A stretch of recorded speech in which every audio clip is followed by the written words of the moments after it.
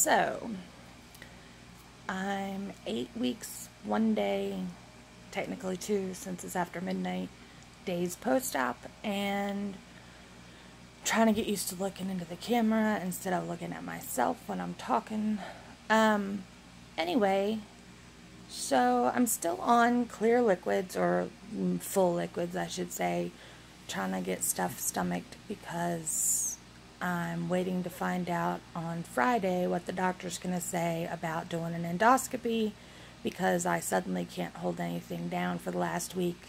Although, since Saturday, after I left hospital, I haven't vomited any. I've been on Phenergan, suppositories, or um, what's that crap called? Oh my god, I'm a nurse and I don't even, can't even remember. I'm having a brain fart. Anyway, the Phenergan stuff that you put on your arms and rub in topically. Um, Zofran wasn't working, so we had to go with Phenergan. Anyway, I'm um, not getting much fluid in, can hardly take any of my meds, but I'm doing what I can.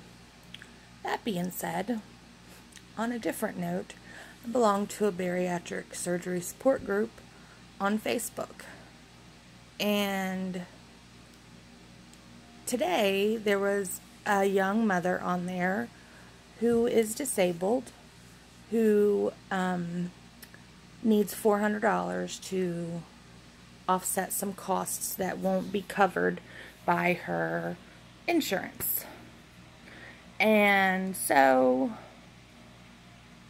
it was a long day. I'm telling you, people have not even posted this much about the NFL back and forth. It's so much controversy. But I set up a GoFundMe page for her for $442. That's it. Because she needs 400 but GoFundMe will take a certain amount, $1.88 for every $20 was the math on that. Um, I wish I had started GoFundMe. I would be rich, rich, rich. Anyway, um, so I posted the link because there were so many comments, like hundreds and hundreds. I carefully went through and posted where people had specifically said they wanted to donate to her. And I posted the link under those comments because there were so many comments, it's easy to get stuff buried. Somebody reported all of my posts as spam. People are jerks. Seriously, they had nothing better to do. It's hurting them so bad that this girl might get $400 from strangers. I mean, give me a break. And I'm even have told them and her, I'm going to give it directly to her doctor. I have her doctor's information, not to her. So what does it kill them? Whiners.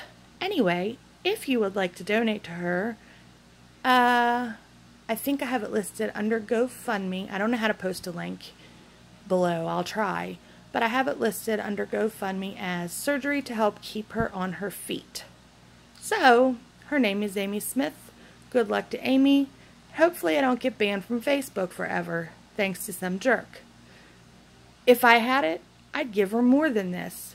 I'm so irritated with this. I understand now why people gave that dude that wanted a dollar for his chicken addiction on GoFundMe as a joke thousands of dollars because other people were acting like such butts about it. So, yeah. You know, it is what it is. Gonna try to post a link.